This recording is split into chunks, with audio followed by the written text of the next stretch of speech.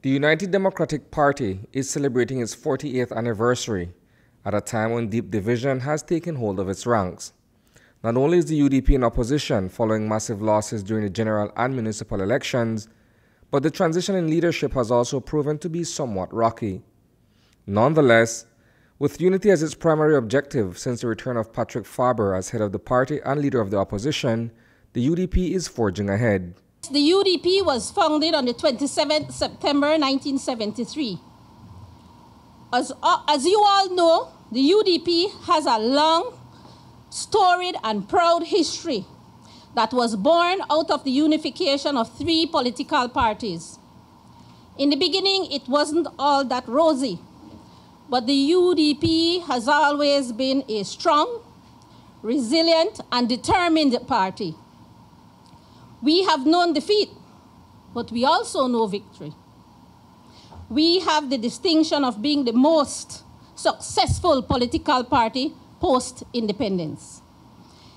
It is only fitting then that I also take this opportunity to, to pay tribute to some of our past champions, such as the Honorable Philip Goldson, Honorable Dean Lindo, Sir Manuel Esquivel, and of course, the Right Honorable Dean Oliver Barrow. Albert Area Representative Tracy Taegar Panton, one of only five opposition parliamentarians, speaks of the move within the party to return to its fundamentals, including freedom, justice, and patriotism. Today, we celebrate the movement for greater representation, greater inclusion, greater democracy on the shoulders of all those who have worked in the trenches for us and all those who out, throughout our young history has taken up the mantle to lead the 31 constituencies that form our political system. Today, we celebrate all those who have kept the faith in the United Democratic Party in the good times. And in times like these, when we are now in the process of righting our ship. Today we celebrate the core principles and ideals we believe in freedom, justice, democracy, patriotism, and respect for our Belizean identity and its rich history.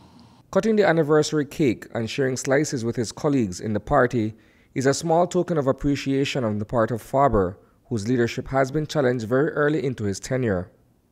That notwithstanding, Faber takes time to acknowledge that the party's storied history does in fact include moments of being the political underdog. It is not new to the UDP, it is not uncommon to the UDP for us to be in tough times. And I think the viewing of the history, the recounting of the history, the filling in of the blanks even in between what is shown to you on the video is really what this party needs now to understand that while we are done, we are certainly not out. And in fact, the glory days of the UDP, even more glorious days than those that we've enjoyed in the five victories that we have had since our independence, are still ahead of us. But what is needed is for us to understand that history.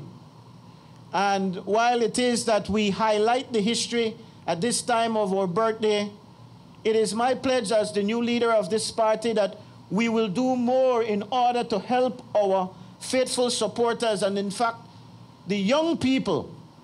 Reporting for News 5, I am Isani Cayetano.